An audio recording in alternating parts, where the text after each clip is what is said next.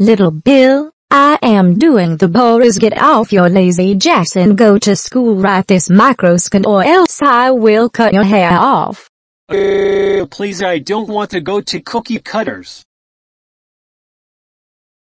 Little Bill, you are 0.69 late to class. That means everyone gets a surprise pop quiz worth 69% of your grade. Miss Martin you a bitch. Shut the fuck up Leo and your upside down nose looking ass and take the test now it is going to be 37,891 times as hard just like me oh oh oh oh oh oh oh oh.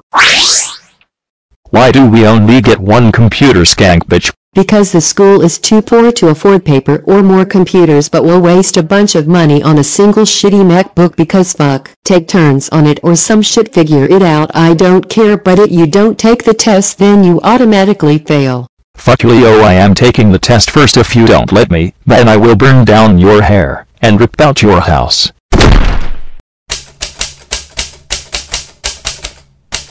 And, and, and, and, and, and Miss Martin, Classic Halloween is being mean to me. Suck it up you're a fucking ginger that's going to be the rest of your life. Oh, oh, oh, oh, oh, oh, oh, oh, oh, oh I am have to run on the keyboard to type because I'm little Bill none. Hurry the fuck up class is almost Okay you're done give me it back now. Leo, how dare you fucking ignore my test this was all your fault, that's it, you are expelled forever from the Caillou school no take backs now fuck off.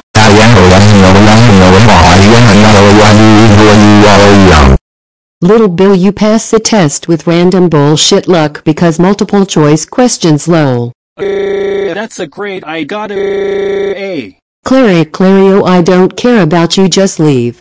Why do I even show up to school god god G-O-N damn it.